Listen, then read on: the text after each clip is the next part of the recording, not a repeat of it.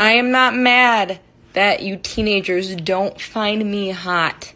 I understand that this is not the desirable body type in your age group. But in my age group, I'm decent. And in your dad's age group, I'm a fucking 10, baby.